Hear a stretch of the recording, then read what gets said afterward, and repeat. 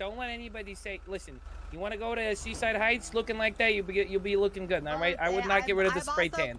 Do not get rid of I'm the spray also tan. Ethnic. I just looked really too orange for my ethnicity. Oh, okay. I'm gonna. You sure you look too orange? Because in my opinion, you're looking a little too red.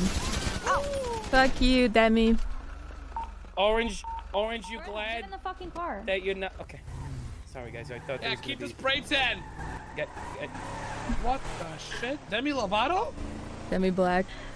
Oh. guys, I was really lining up for an epic line there after she shot, but apparently we had to go. You know, orange, you glad Yeah, we just shot a cop, dummy.